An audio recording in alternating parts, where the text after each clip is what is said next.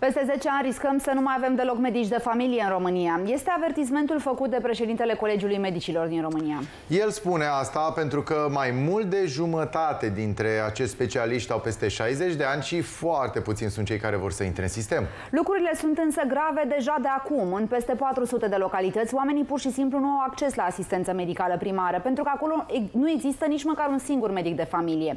Iar asta înseamnă mai mulți oameni bolnavi. Specialiștii din sistem vorbesc tot mai mult despre fenomenul de deșertificare. În peste 400 de localități din țară nu există niciun medic de familie, iar în peste 1000 necesarul de medici de familie nu este acoperit. Dacă în urmă cu 10 ani în România erau în jur de 12.000 de medici de familie, acum sunt sub 10.000. Printre cele mai afectate județe sunt Tulcea, Vrancea și Covasna. Foarte importantă este și îmbătrânirea acestor specialiști. Aproape jumătate din medicii noștri de familie au peste 61 de ani. Deci aproape jumătate vor ieși la pensie peste câțiva ani.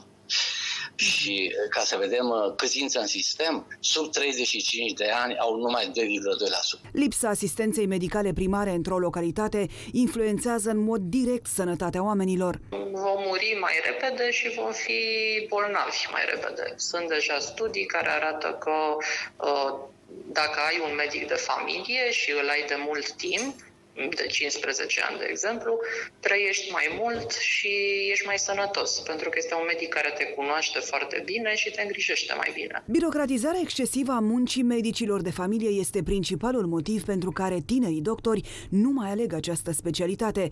Medicul de familie este într-un fel de privatizare forțată, spune profesorul Coriu. El trebuie să plătească facturile, utilitățile, salarii, taxe. Finanțarea vine din contractul cu casă, deci un contract civil în, în adevăratul mm-hmm. sens al cuvântului, ci este obligat să semneze contractul că altfel moare de foame. România ar putea însă lua exemplul altor sisteme. În Franța, dacă un medic de familie vine într-o zonă rurală, este stimulat cu prime consistente de instalare de câteva zeci de mii de euro, oferite pe perioada primilor doi ani de activitate.